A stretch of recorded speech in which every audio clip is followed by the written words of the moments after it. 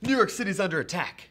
It's up to you and your fellow SHIELD agents to try and defend New York City from an onslaught of nefarious villains.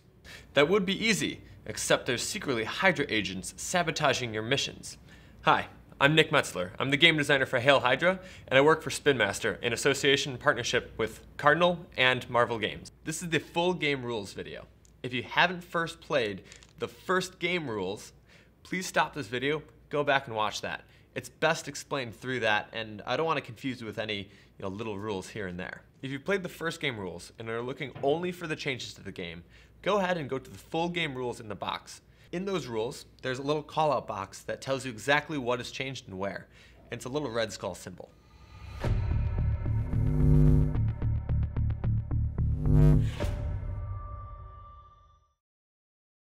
Thirteen health discs, three defense discs, 18 villain cards, 1 first player token, 1 Metal Avengers Tower mover, 80 attack cards, 40 blue and 40 red, 8 loyalty discs, 5 shield and 3 Hydra, 14 hero cards, 1 oversized New York City card, first game rules and full game rules instruction sheets.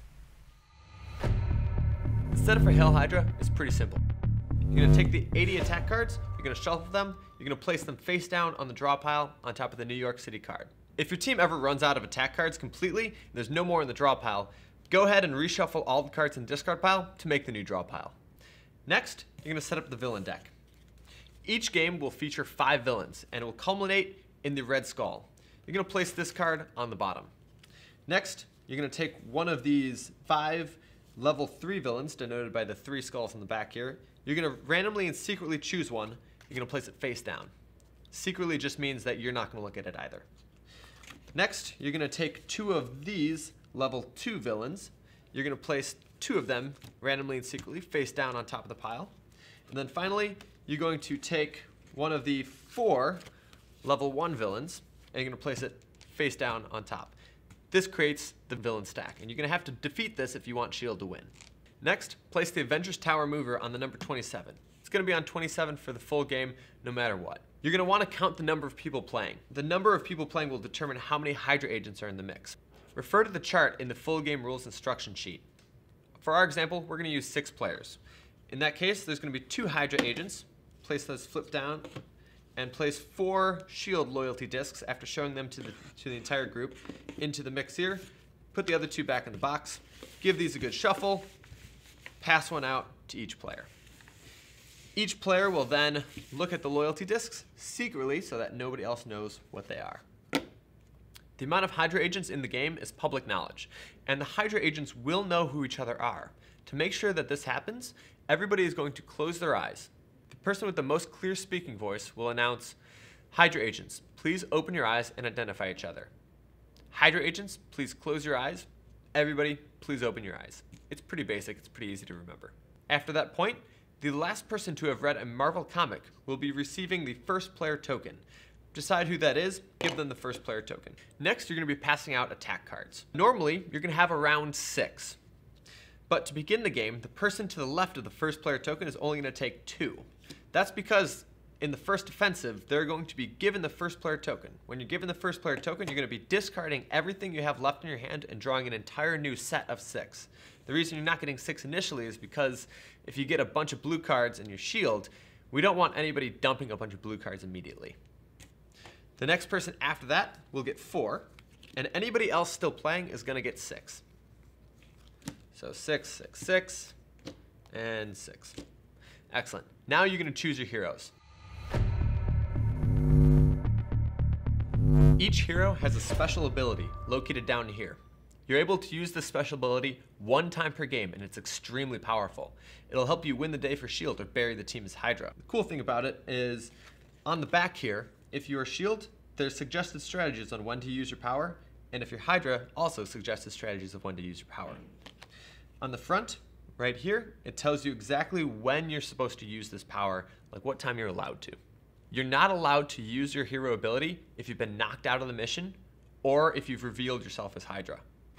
So everybody can choose their hero They can choose whichever one they like the best. The powers are relatively balanced, so you don't actually have to read all of them. I would recommend just choosing one, seeing how it plays. Instructions for every single hero are going to be in separate videos, and you can look at them in isolation if you'd like.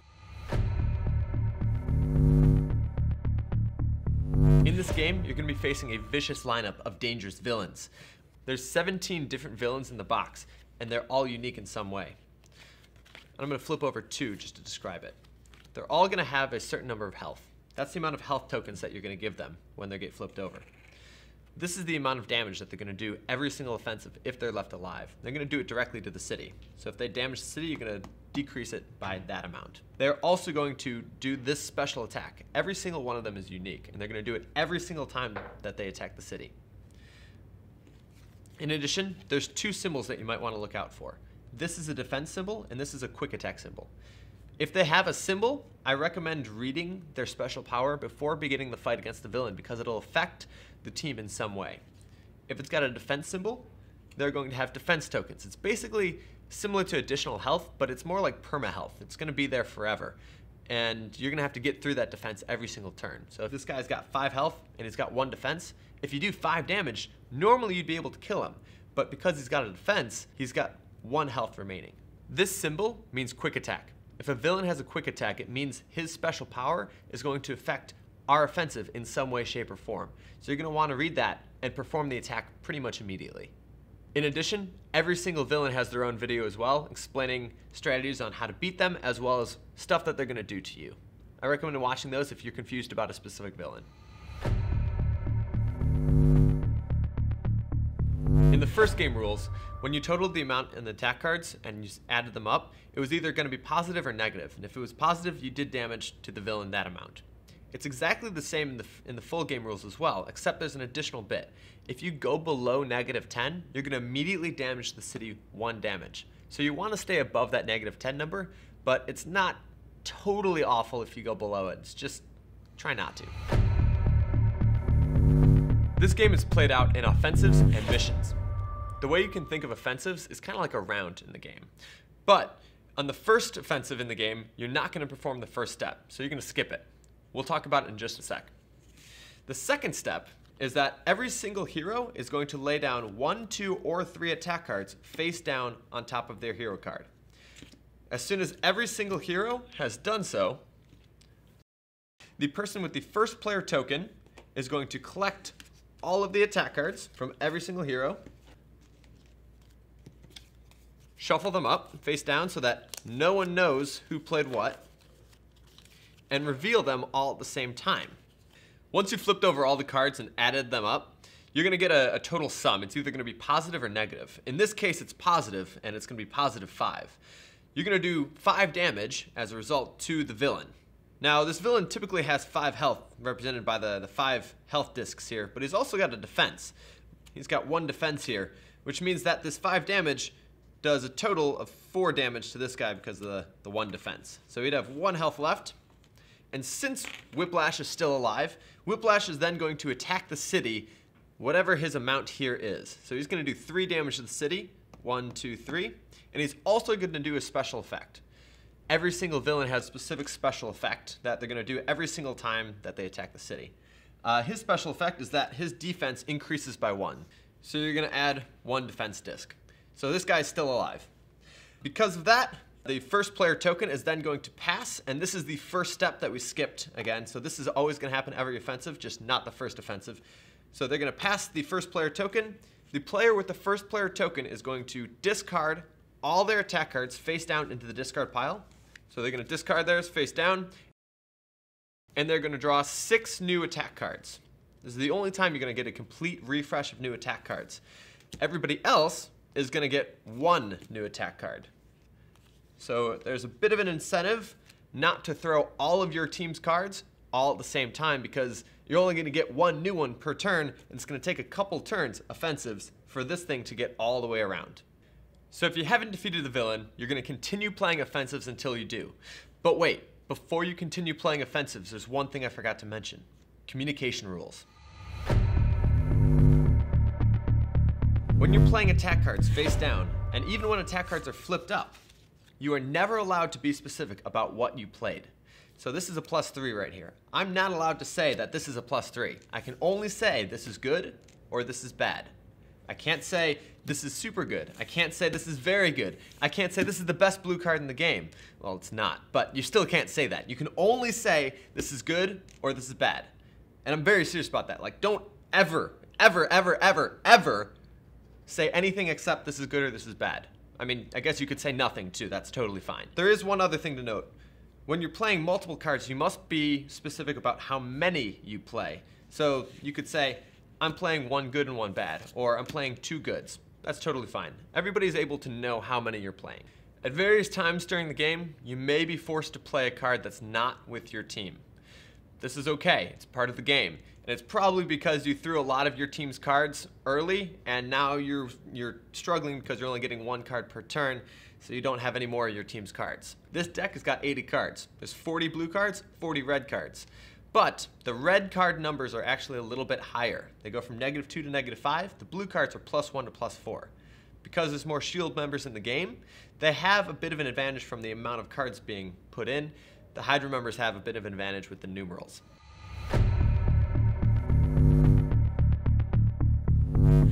Knockout phase. Oof, it's my favorite portion of the game. This portion is a voting portion of the game where you informally discuss who you believe to be Hydra and then you get to knock them out of the next mission. It's dangerous though because if you knock out a shield agent, now there's only three shield agents and two Hydra agents. That gives Hydra a better opportunity to take you guys out and take out the, the, the city too. But if you knock out a Hydra agent, theoretically there's going to be less red cards in the mix and you'll know you've taken out a Hydra agent there's no 100% way to really prove anybody is anything, so it's important to watch how many cards people are playing. It's a good way to deduce who might be throwing cards. To begin the knockout phase, you're going to take out a phone and set a timer for two minutes. After the two minutes are up, every single player is going to put a finger up in the air like this and count down three, two, one, and everybody's going to point at somebody after the two minutes are up the person that has the majority of fingers pointed at them is knocked out for the entire next mission. If there's no majority, and say for example there might be a tie, no one is voted out and the entire team moves forward into the next mission. Now, you are allowed to throw away your vote. You're allowed to abstain just by keeping your finger straight up in the air. This basically means that you're not going to be incriminating anybody, but it also might mean that you're losing an opportunity to knock somebody out and gain more information. If the majority of people are still pointing up at the end, no one is knocked out, and the team keeps moving on to the next mission. Now, if you've been knocked out, don't fret. You're not out forever. You're going to be coming back after the next mission is over, a, you know, when the villain is defeated. But you will still get the first player token like normal. So if we pass this to you, you're still going to get it. You're going to discard cards like normal, you're still going to draw like normal, but you're not going to be playing any cards face down on your hero card to attack the villain. Instead, before anybody plays, you're going to hand one or two attack cards face down to any single hero that is on the mission. The reason you're doing this is if you're shield, you can try to pick out who you think might be shield and give good cards to them, or if you're Hydra, you can feed bad cards to Hydra members so that they can play it on their own.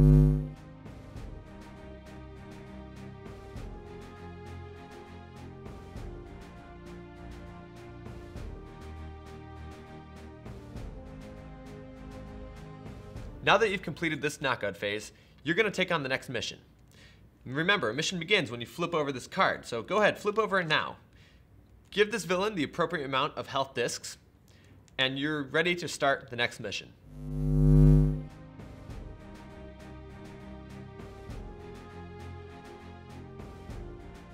Each time a villain is defeated, your team is going to immediately move into a knockout phase.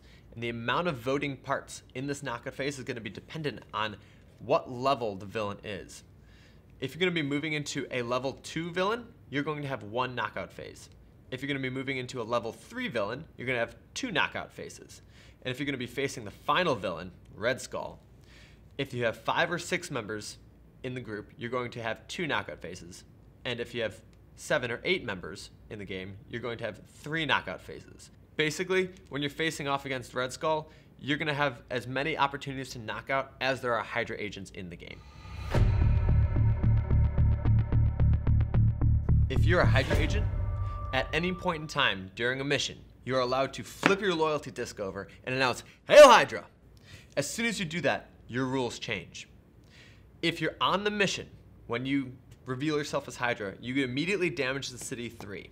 If you've been knocked out of the mission, you may only damage the city 1. So theoretically, you want to be on the mission when you're hailing Hydra.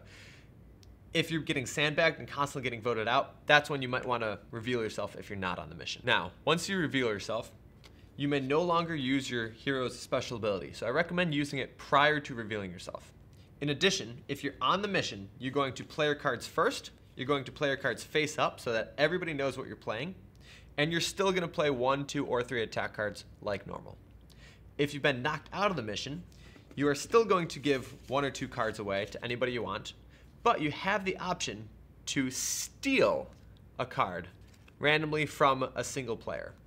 So that allows you to target very specific uh, shield agents if you wish.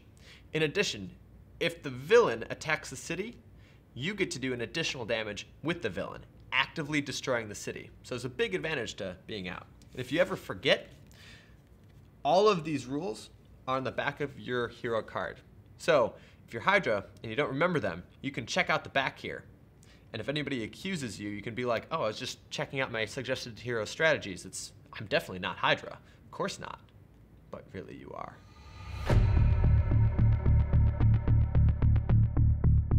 Red Skull. He's the final villain in the game, and rightly so. He's unbelievably difficult to beat, and he is going to be the culmination of every single game of Hail Hydra. If New York City ever reaches zero on this card, Hydra wins, even if you have defeated Red Skull. He's got 13 health, and he also has 6 damage every single turn, and he also has a quick attack and defense. The defense actually works into the quick attack. With his power All Hail, any revealed Hydra agents are able to make a choice in the beginning of every single offensive. They could forego giving or stealing attack cards to give Red Skull a defense instead. So say for example, these two Hydra agents are giving uh, Red Skull two defense. They would each give him one instead of giving or stealing attack cards on this round, which effectively reduces his safe range for the Cosmic Cube penalty. Okay, so what, what is the Cosmic Cube penalty? The Cosmic Cube penalty states any additional damage, five above Red Skull's remaining health, will directly damage the city that amount. It's basically an overkill penalty. So this guy is particularly brutal. If you are Hydra, you might want to give him a defense when the city life is pretty low. If city life is up near 17 or higher, which is rare but it happens, I recommend still giving away one or two attack cards or stealing attack cards from unsuspecting shield agents to eat away at their potential blue cards that they could play on the Red Skull.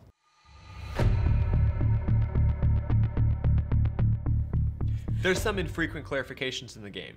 If you have any questions about minute details and things like that, there's actually a column in the back of the full game rules where you can go to look for all that. It's called infrequent clarifications and it probably has the answer to your question. Thanks for watching this video. I hope you have a blast playing Hail Hydra with your gaming group. Take care.